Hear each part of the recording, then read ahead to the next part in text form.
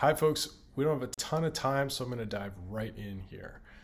So, when I'm talking about flow, what I primarily talk about is collective flow, this idea of flow across an organization, right? It's involving all the activities and everything that needs to happen from the inception of an idea, maybe it's a customer request, all the way out to production, to a customer using the results of that effort. Um, but it's important to, to also talk about personal flow. I think that um, you know we are pretty familiar with the state of flow, the work of Mihaly Csikszentmihalyi, and um, this marriage, this this middle way between challenge and skill, where we feel like we're in the zone. And I think it's important to mention that because I don't think that we can reach that state without collective flow, without something um, helping us reach that state of flow unless we're off working on our own. And increasingly, that's less and less common, right? We're collaborating more and more often uh, with different teams, even across teams, across time zones, across departments, divisions, even companies all the time. So I think collective flow is becoming more and more important, um, and the challenges of collaboration as a result. But um, let's talk about a big challenge here. Let's talk about um, a pretty common case, which is these large organizations have very big, ambitious goals to either transform their business or attack new markets or release new products or experiences. Um, and what that means is we end up with these gigantic backlogs of things that we need to do, right? Uh, what's going to make those initiatives happen? What's going to deliver those outcomes? Um, and usually, you know, what happens when we look at those giant outcomes is we realize we're really not moving fast enough to get through any of this. Nothing's going to get done on time or, you know, in the time frame that we're hoping. And we need to go faster. So the question becomes how do we actually do that? How do we get to faster? How do we get to better outcomes, more consistent, sustainable high performance, right? We don't want to burn out. We don't want to go faster for the sake of going faster or sacrificing quality or value in order to go faster. So, how do we do that the right way? So, I think this is uh, especially challenging, and the idea of collaborative flow is challenging because we lack clarity on the whole interconnected network, the system behind what needs to get done. You know, the system be- behind the, the current state all the things that are happening and everything that needs to come together in order to deliver value. But also you know clarity on how do we how do we get to the next level? How do we improve our performance and our outcomes? And this is hard in collaborative environments because when we have multiple people we have multiple perspectives right? If we have eight people they all have their own idea about what we should do how we should do it. They have their own perspective their own experience, and that can mean that they all start moving in different directions, right? So we can't have that if we want collective flow, if we want everybody rowing in the same direction. Um, it's also challenging because we're missing models to make this easy. Like, it's not well known that we have ways of navigating these situations and connecting all the dots. Um, and we're developing these ways, but they're not well known. It's also tough because we can't just copy what other people are doing as much as we want to, as much as we want to just be like Netflix or Amazon or Walmart or whoever we want to follow. Uh, whoever's doing this well, you can't just copy them because you have a unique situation. You have unique capabilities. Um, your teams are unique. Your situation, your market, the point in time, all these things are entirely unique to you. You are surrounded by unique terrain and you need to navigate that terrain based on where you're standing. And you need to bring everybody else along with you right? You need to walk a path that's unique but collective. So how do we do that? How do we bring all these people together and get them all rowing in the same direction everybody clear on where we're going and how we're going to get there these could be anywhere from like you know the members of your team but also executives people you need to convince. They could be customers. They could be partners. Uh, they could be consultants or you know you could be part of an effort that's led by consultants and you're understanding well, what, what are we doing here? Right? So the first step is just bringing everybody together and getting everybody to uh, stay on the same page for more than 30 seconds. And I start that um, by working backwards from a target outcome, by mapping an outcome. I think it's incredibly powerful to start from where we want to get to and work backwards. So in this case, we want to work twice as fast. So the first thing that we think about um, is why is that important? Why should we be doing this and not everything else? Right? Why is the right answer to go faster? Uh, maybe some people are thinking that know we don't need to go faster. I'm already uncomfortable with the pace, and I'd like us to improve quality. So we can have that conversation. We can be very clear about why is it really important for us to go faster. And that can be important to the organization. It could be important to the team, uh, the key stakeholder. It can be important to customers. Hopefully, it's important to everybody. But we can be clear about why it's important to each of those groups and get that out and talk about it. The next thing to talk about is obstacles. What's going to be in our way? What are we going to trip over the moment we take our first step? What is the cliff that we're going to walk right into and hopefully not off of, but we might get stuck? How can we understand how to get around those obstacles? And the first part about that is getting it out and talking about it. And then what we can start to do to start doing something about these challenges is investigations. What can we learn that's going to help us avoid the obstacles or get to the outcome more effectively. And that brings us to one of my favorite investigations, which is value stream mapping. So, if we want to understand collective flow, it's an excellent practice to tackle that effort with value stream mapping. A value stream map is all about collective flow. And so, what value stream map is all about is laying out all the activities from start to finish of how we actually deliver value to customers. What is the workflow? What is the order of operations? And what's really important about this is the measurement aspect of this. So most process maps you've seen, they don't have measurement, and that's why they're pretty useless.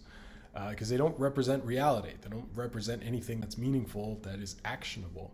But a value stream map has data, it has measurement behind it. The way we get that data is we ask the team how long does this usually take to happen? How long does a request usually take to get into the system and be complete and accurate and, and, and uh, a solid starting point? And then we can go all the way through and capture this measurement. But the second dimension that's really valuable is delay timing. How long are people waiting in between these activities, either because it's handed off ineffectively or uh, you know just not clear from one step to the next, and so it can take take time. But maybe we just don't have the right tooling or process to do those handoffs effectively, and the baton is being dropped in the relay race, or you know it's just taking too long to hand it off. What that gives us, this data gives us a focal point. It gives us, out of everything that we could be paying attention to, the one place in the value stream where everything seems to be piling up and, and slowing down um, or you know we're seeing the maximum impact in the value stream. And in this case, we're seeing this in environment setup. We see this delay before environment setup, probably because it gets handed off to somebody, um, and it's not a smooth handoff. And then it takes a week, and then there's another long delay. And so, all in all, this takes a major portion of the value stream. If we were to fix this entirely, which we probably can't get all the way to full automation, but if we're addressing it, we're going to be almost ex- we're going to be almost at our target just by hitting this one constraint, which is fantastic, right? So we have a focal point, we have a starting point, we have something that's really going to pay off if we invest in it. That brings us to dependency mapping because when we find a constraint, what's usually happening is that that constraint isn't something that the team controls. Otherwise, it probably would have been dealt with already.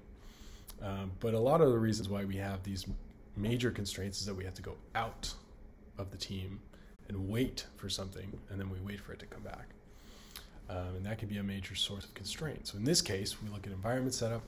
That actually is the case. We have something that we need from the data team. We have something that we need from the DevOps team, and they're doing things that we can't do. Either we lack the capability, or we lack the access, or we lack, you know, the checks and balances, or whatever it is.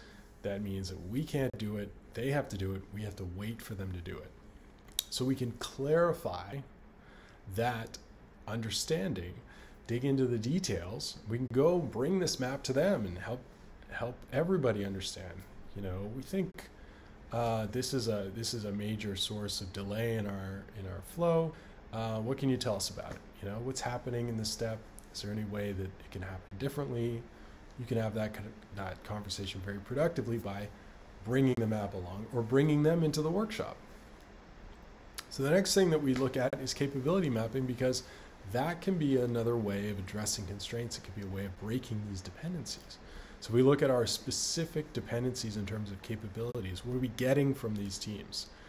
We're getting uh, data refreshed from production. We're getting it cleansed of all the sensitive information, put in a place that we can access it with a staging environment so that we can test our change uh, somewhere safe, but somewhere that resembles production. We also, for that to happen, need a environment to be spun up and provisioned to be like productions. We have to wait for that to happen. This is a policy. This is how we do things, so we gotta wait for it to happen. So let's look at maybe taking that on ourselves. Maybe there's a way that we can do that inside the team so that we don't have to wait for it to be done by somebody else. So let's look at the team. Who currently owns data? Who's in charge of data in the team? Nobody's in charge of data in the team. No wonder it's a dependency. No wonder it's a sore spot. Um, we have to go outside the team to get it because nobody inside the team owns it. Um, but in case of infrastructure, we've got some people who are managing our infrastructure from inside the team. Maybe they could start doing a little bit more. Maybe they could expand their access. Um, maybe they've been doing it long enough that the team is comfortable with them taking it on. We can look at that. We can have that conversation, right? We're getting this out so that we can have the conversations about what to do. But um, owners are great as long as they have backups. If there's nobody to support these people, if these people can't go on vacation, if they're not allowed to get sick, you're not going to be convincing uh, other teams to allow you to take over a capability that you can't actually support. So you have to make sure that you've got a backup for all these things. So now we're making it clear what our level of capability is so that we can address it effectively, right? So um, what's really important about capabilities is our skill level. Are we actually able to do this thing? So it turns out that we've got uh, pretty decent skills in terms of data. We have nobody who's like stepped up and owned it, but um, we're not doing too bad. So maybe we can bump that up. Uh, it looks like we're really good at standing up and tearing down environments. Maybe we have somebody with Terraform experience or some some prior experience. Um, so that's fantastic. And validation, you know, testing environments, we have very low capability, and we can be very clear about that. Uh, another important factor is resources. What level of support do we have for these things? And so we can see that you know we have fairly good resources that can be API access, documentation, testing frameworks, all kinds of things that make that uh, skill um, supported and and uh, sustainable. So we can be clear about that, and all of that can be brought together in a score that helps us understand where we need the most help and where we might be able to actually break a dependency or mitigate a dependency effectively. So let's look at this from start to finish. We're wrapping up here. We start with an outcome, maybe working backwards by defining value or destination and understanding how we're going to get there. We look at what we're currently doing with a value stream map, and we can define a future state value stream map as part of this as well. What do we want the flow to look like? What do we want that collective flow to look like? We can also understand dependencies. What's behind the constraints? What are the things that are contributing to the delays and the impact on the flow? We can understand the capabilities that we might need to address the dependencies or improve our performance. And all that can be brought together in a roadmap that makes it clear what we're going to tackle right now, what we're going to leave till next, and what we're going to do later. And we can understand that from a couple different dimensions. We can assign measures of progress to each of these things or ownership to each of these activities uh, to make it clear. Again, very visual, very clear, very easily communicated inside the team, outside the team. Whoever needs to understand these things can get uh, you know, the picture that's worth a thousand words and drive those powerful, effective conversations with these visual maps that help us understand how to do what we want to do. So if you're interested in more about this, there's an ebook at flow.visible.is. It'll take you through start to finish, everything I've covered and more in great detail. There's also an email course that's going to come to you every day with a separate piece of the puzzle um, so that you can learn about this from end to end uh, and share it with your team. Also, if you're interested in collective flow, this idea of value streams, um, check out valuestreamshow.com. Myself and my co author, Andrew Davis, were writing a book about this for IT Revolution. Uh, your favorite book authors and uh, your favorite book publishing company hopefully will be your favorite book authors, and uh, you can follow along with a video podcast there. Thank you very much for joining me for the session.